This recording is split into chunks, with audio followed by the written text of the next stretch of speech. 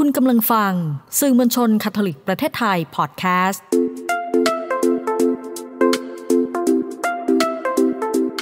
ซ่อนไว้ในจังหวะชีวิตพอดแคสต์ที่จะพาให้คุณไปพบกับคุณค่าที่ซ่อนไว้ระหว่างการเดินทางชีวิตกับคุณพ่ออนุชาชยเดช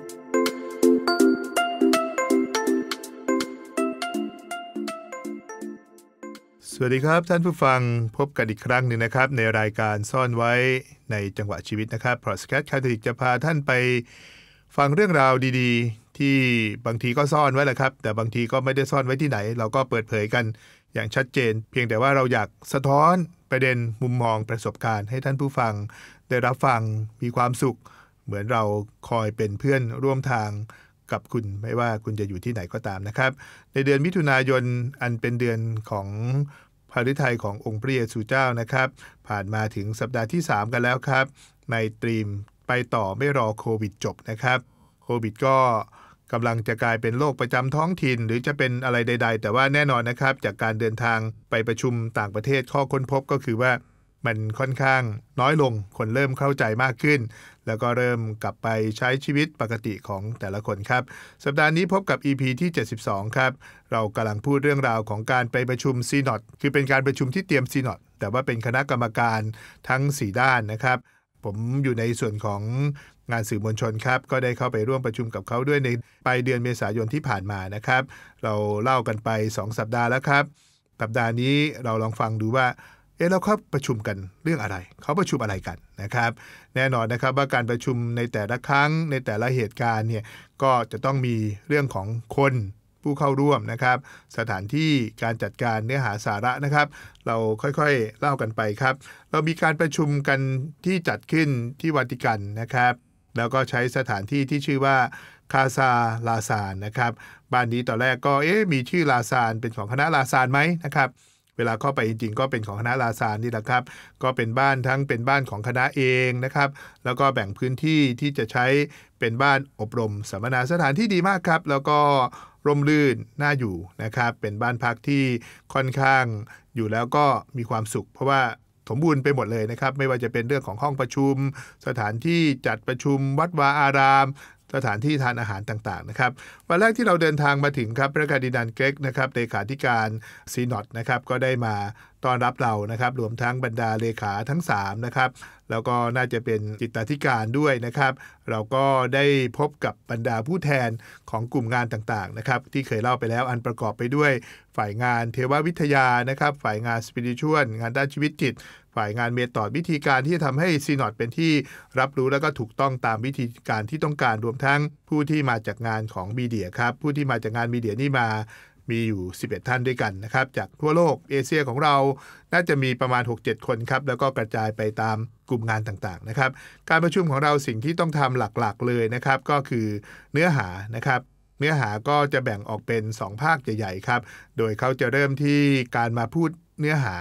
แต่ก่อนจะถึงเนื้อหาเนี่ยเขาจะมาสะท้อนพระวาจาของพระเป็นเจ้าที่สอดคล้องกับเนื้อหานะครับ ถามว่าเนื้อหาเป็นเรื่องอะไร เนื้อหาก็เป็นเรื่องของ การทำหน้าที่การทำงานของผู้ที่มีความเชื่อนะครับเขาจะมีศัพท์ภาษาลาตินเหมือนกันนะครับ ที่บ่งบอกว่าในความเชื่อของคนที่ได้รับการล้างบาปพระจิตเจ้า หรือในคำสอนศาสนาต่างๆอำนาจของพระศาสนาจากก็ดี หรืออำนาจของสมเด็จพระสัมมามันอยู่ตรงไหน มันพัฒนาไปได้ยังไง เราจะรับฟังกันยังไงและที่สำคัญมาก ๆเลยนะครับ ก็คือเรื่องของวิธีการนะครับ เพราะฉะนั้นตอนเช้าสมมติจะพูด 1 คอร์สเนี่ยนะครับก็จะมีการมารีเฟกสะท้อนพระวาจานะครับ หลังจากนั้นก็เข้าเนื้อหา พอเข้าเนื้อหาก็สะท้อนเนื้อหา พอสะท้อนเนื้อหาเสร็จก็เข้าไปประชุมกลุ่ม โดยในกลุ่มนั้นสิ่งที่สำคัญก็คือว่าต้องมีประมาณ 3 ประเด็นใหญ่ ๆ ที่เราจะต้องพูดในกลุ่มย่อยนะครับ กลุ่มย่อยแบ่งตามภาษาครับ ก็จะมีภาษาของแน่นอนนะครับ ก็ต้องเป็นภาษาอังกฤษ ภาษาอิตาเลียน แล้วก็สเปนฝรั่งเศสนะครับ ก็แยกไปตามกลุ่มที่ใช้ภาษาต่างกันนะครับและเวลาเข้ากลุ่มเนี่ยเราก็จะสะท้อนสิ่งที่ได้ยิน นะครับ สะท้อนเสร็จปั๊บเราเข้าใจยังไง เรามีประสบการณ์ยังไงนะครับ สุดท้ายก็ประยุกต์ใช้ก็เป็นเรื่องพื้นๆทั่ว ๆ ไปถ้าฟังดูนะครับ แต่ว่าสิ่งที่ผมรู้สึกว่าเป็นเรื่องที่ยากมาก ๆ ก็คือว่าเนื้อหาครับ เนื้อหาสาระของเขาจะเป็นเนื้อหาที่เป็นในลักษณะของเทวศาสตร์ เพราะนั้นวิทยากรที่มาพูดก็คือกลุ่มงานที่เป็นเรื่องของ theology นะครับ คนพวกนี้ก็จะไปแตกประเด็นนะครับ ประเด็นหลักๆ ก็เริ่มตั้งแต่คำสอนของพระศาสนจักรเกี่ยวกับเรื่องความเชื่อนะครับ ถัดมาก็เป็นอำนาจในการใช้ความเชื่อนั้นว่ามันต่างกันยังไงไหมระหว่างโป๊ปกับผู้รับพระจิตเจ้า แล้วก็เรื่องของงานมิชชันนารีอะไรต่างๆ กับการที่เราจะทำซีนอดนะครับ ทั้งหลายทั้งปวงครับ มีวิธีที่ไม่เหมือนกับเวลาที่เราได้ยินหรือธรรมนาทั่วไปก็คือว่าเราต้องฟังก่อนนะครับเขาก็จะไม่มานั่งเหมือนกับว่าขัดแย้งกันนะครับเขาจะฟังสิ่งที่วิทยากรพูด เขาจะสะท้อนสิ่งที่วิทยากรพูด แล้วเมื่อเขาเข้ากลุ่ม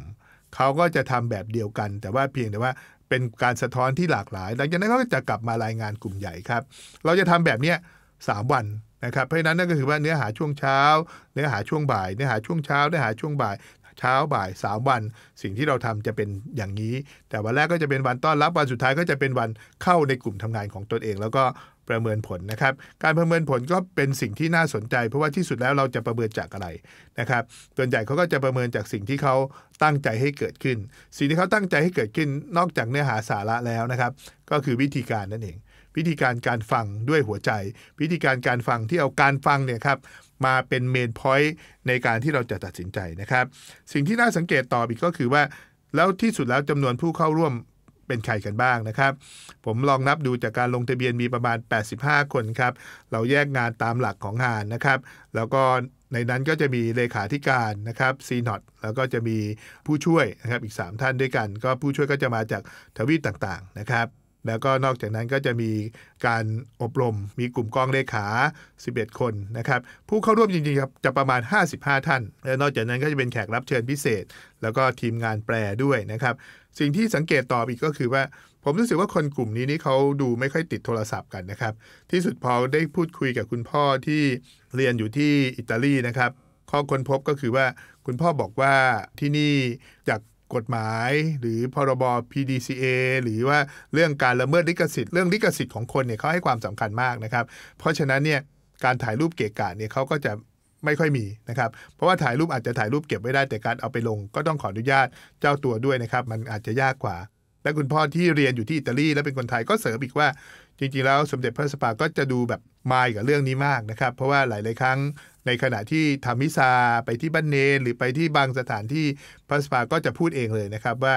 นี่เรามาอยู่กับท่านแล้วนะครับ ท่านก็ควรที่จะ อยู่กับเราไม่ใช่แบบอยู่กับเราในรูปถ่ายหรือใดๆต่างๆ ก็ความคิดด้านนี้นะครับของสมเด็จพระสปาก็เป็นที่แพร่หลายของบรรดาผู้ที่ทำงานสื่อด้วยนะครับ แล้วก็ผู้ที่รู้จักพระองค์ท่านว่าพระองค์ท่านไม่อยากให้เราใส่ใจกับเรื่องของภาพถ่าย จนเกินไปกว่าการจะสนใจกับเหตุการณ์จริงที่เรากำลังเผชิญอยู่นะครับ ในการประชุมครั้งนี้นะครับ พระคาร์ดินันมาริโอเกตก็ได้พูดตั้งแต่วันแรกเลยว่า ข้าพเจ้าเชิญเชิญพวกคุณเนี่ยให้เข้ามาสู่การเป็นเอกภาพของ Episcopalis Communio นะครับก็คือว่าในความสัมพันธ์เชิงการนำทางขององค์พระจิตเจ้า หรือของพระศาสนาจักรหรืออำนาจของพระศาสนจักรที่ถูกสืบทอดมานะครับ พร้อมกับ process ของซีโนเดนนะครับก็คือพร้อมกับขั้นตอนของ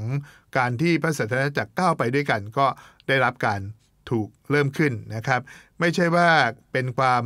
สัมพันธ์เชื่อมโยงที่ เป็นไปตามลักษณะของอัครสาวกแต่เพียงเท่านั้นก็คือเหมือนกับว่าไม่ได้เป็นเรื่องของบรรดาพระสงฆ์เท่านั้น แต่เป็นเรื่องของทุกคนด้วยนะครับ พวกเราจะต้องกล้าหาญที่จะจินตนาการในการติดตามองค์พระจิตเจ้า ที่เป็นผู้นำพาพระศาสนาจักในการที่จะ rediscovery นะครับที่จะค้นพบใหม่ ในผลแห่งการที่เราจะมาเป็นพระศาสนาจักรที่ก้าวไปด้วยกันนะครับ มีสิ่งที่น่าสนใจอีก2อสอย่างครับ ก็คือว่าวันท้ายๆครับเขาก็ให้พวกเราที่มาจากแต่ละประเทศเนี่ยได้พูดถึงความหมายของคำว่าซีโนเดนนะครับ ผมก็พูดนะครับ ก็เห็นในวีดีทัศน์นะครับความยาวไม่เกิน 2 นาที ผมอยู่วินาทีที่ 1 นาทีจุด1.5 นะครับ เราก็บอกว่า Synodal Church ระศาสนาจักรที่ก้าวไปด้วยกันนะครับ ในการประชุมผมยังได้นำอุดมสารนะครับหนังสือพิมพ์คาทอลิกที่ออกมาน่าจะหลังจากงานวันที่ 9 ตุลาคม และก็ 10 ตุลาคมในปี 2021 นะครับ ที่เราได้ผ่านการเปิดซีนอกขึ้นนะครับ ในการเปิดตรงนั้นเรามีรูปการประชุม เรามีรูปปกที่เป็นพระการดินันเกรกเองนะครับ ที่เราได้ลงปกของท่านนะครับ แล้วผมก็เลยได้นำรูปนี้นะครับนำอุดมสารเล่มนี้มามอบให้กับพระคุณเจ้าคุณเจ้าก็รู้สึกว่า ดีใจที่ดีใจผมเชื่อว่าไม่ใช่เป็นเรื่องของท่านได้ลงปกนะครับ แต่เห็นว่าเราก้าวไปด้วยกันนะครับ ข้ามผ่านสิ่งที่บางครั้งเป็นอุปสรรคทางภาษา อุปสรรคทางการเรียนรู้ความเชื่อ แต่เราได้ข้ามผ่านมันไปครับ เราได้ข้ามผ่านไปจนเราพบว่าสิ่งต่างๆ ที่เราก้าวเดินไปด้วยกันเนี่ยมันเกิดผลจริงๆ แล้วในการก้าวเดินไปด้วยกันนี่นะครับ ผมรู้สึกว่าสิ่งที่ดีมาก ๆ อย่างหนึ่งเลยก็คือว่าเราฟังกัน เราไม่ตำหนิกัน เราไม่เบมกัน เราไม่บอกว่าเฮ้ยยูคิดแบบนั้นไม่ได้ยูต้องคิดแบบนี้อะไรเงี้ยผมว่าสิ่งเหล่านี้ครับมันเป็นแนวทางที่พระศาสนาจักรกำลังทำแล้วก็สิ่งที่มันเป็นพูดให้ฟังง่ายๆมันเป็นสิ่งที่รบกวนหัวใจของผม แต่พูดให้มันดูดีหน่อยก็คือว่า มันเป็นสิ่งที่วนเวียนอยู่ในความรู้สึก แล้วก็สะท้อนเข้าออกอยู่ตลอดเวลาก็คือว่า จริง ๆ แล้วเราต้องเชื่อมั่นในการนำทางของพระจิตเจ้าด้วยครับ นั่นคือเรื่องราวรวมๆนะครับ ว่าที่สุดแล้วเขาประชุมอะไรกัน แน่นอนเขาประชุมเนื้อหาแน่ๆแต่ว่าในขณะเดียวกันเขาก็มีการสวดทำวัดเช้าทำวัดเย็นนะครับ มีไต่ตรอง มีมิซาทุกวัน แล้วก็ทำให้เห็นว่าสิ่งที่สำคัญอาจจะไม่ใช่แค่เนื้อหาเท่านั้นเอง แต่บรรยากาศของคนที่มีความเชื่อดุดเดียวกันอยู่ร่วมกัน ด้วยการนำทางของพระจิตเจ้าครับ เอาละครับ เรื่องราวของเขาประชุมอะไรกัน EP ที่ 72 คงต้อง จบแต่เพียงเท่านี้นะครับ หยิบเรื่องที่ซ่อนไว้มาบอกเล่าครับ หยิบเรื่องราวดีๆ มาแบ่งปันกันนะครับ สัปดาห์หน้านอกจากจะเล่าเรื่องการประชุมแล้วนะครับ จะลองทบทวนให้ดูว่าเราได้อะไรจากการประชุมนั้นมากไปกว่าเนื้อหาครับ คือบทสะท้อนที่น่าสนใจการไต่ตองที่มีคุณภาพจากวันเวลาที่เกิดขึ้นในชีวิตของเรานะครับ เอาละครับสัปดาห์นี้ลาไปก่อนนะครับ สัปดาห์หน้าพบกันครับ มีเรื่องดีๆ มาแบ่งปันกันอีกพอสมควรทีเดียวครับ สวัสดีครับ